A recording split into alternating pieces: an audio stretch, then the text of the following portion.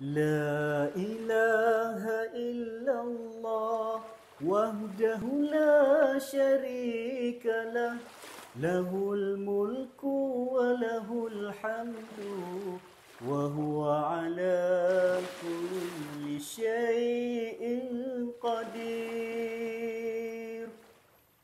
لا إله إلا الله وحده لا شريك له له الملك وله الحمد وهو على كل شيء قدير.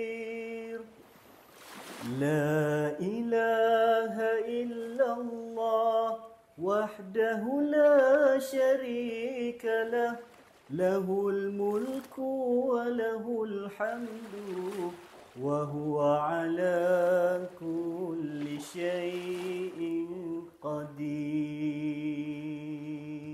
Zikir yang saya alungkan sebentar tadi merupakan zikir yang dianjurkan oleh Nabi sallallahu alaihi wasallam dan juga Nabi sendiri membacanya pada hari Arafah.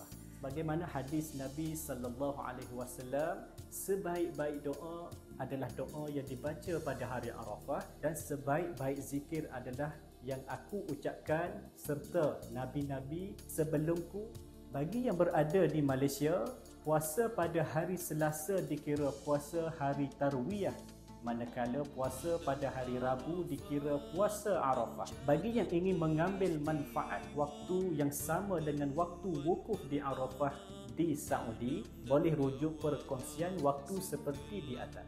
Semoga Allah Subhanahu Wa Taala memakbulkan segala doa dan hajat kita pada hari Arafah ini dan semoga Allah mengurniakan ganjaran pahala yang berlipat kali ganda kepada kita serta Allah mengampunkan dosa-dosa kita tahun sebelum dan juga yang akan datang. Wallahu